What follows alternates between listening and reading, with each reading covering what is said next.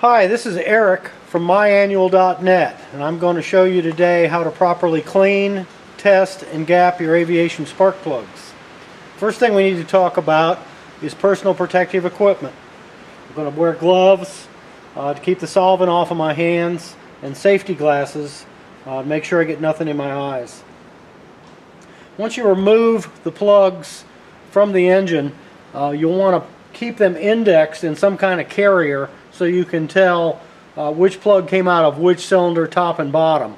Uh, the reason that is is we will rotate the plugs when we put them back in uh, as per manufacturer's recommendations um, to extend the life of the plugs. Uh, we're going to remove the old crush gasket from the plug and we'll replace that with a new one later.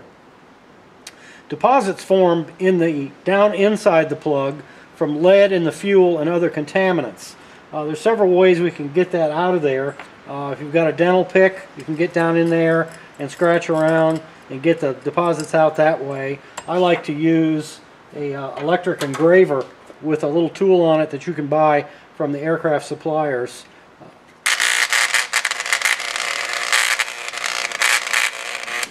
It digs down around in there and dislodges all that lead and contaminants so you can get that out. Uh, you can see from the stuff that comes out of there that there's always some lead or other contaminants down in there.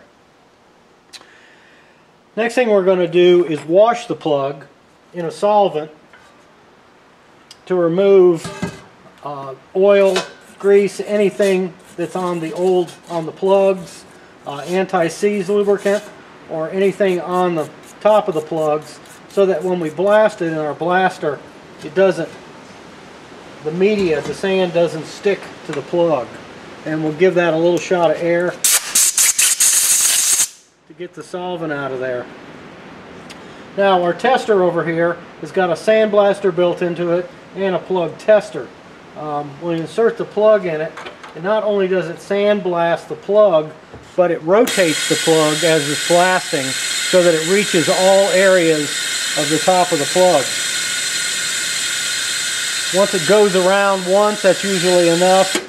We'll now hit the air button, which just blows that sand off of the top of the plug.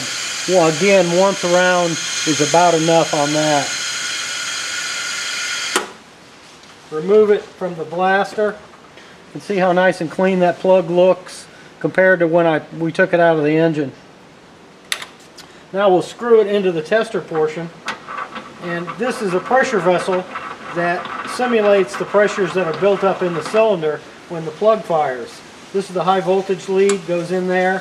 When you hit the tester, it actually puts the power to the plug and you can see the tip of the plug down here with a mirror that shoots up at the bottom of the plug. You increase the pressure and it simulates the pressures that you get inside the cylinder what you should see is a nice blue spark from both sides of the ground to the center electrode.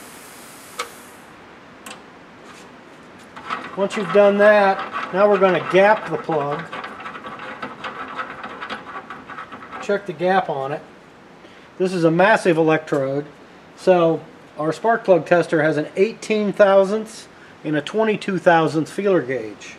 The 18 should go easily between the ground and the center electrode and the 22 should be should stop as this one does and that's basically a go no go gauge. The 18 goes through but the 22 does not go through and that shows that our gap is good on our plug. Now um, we're going to put a new crush gasket on the plug. Um, this is a copper gasket that when you put it in, put the plug into the cylinder and tighten it down, it actually crushes and gives you a good sealer between the plug and the cylinder uh, so you don't have gases escaping there. A little anti-seize lubricant on the threads and we're ready to go back into the engine. The recommended torque is 25 foot-pounds um, as per the manufacturer.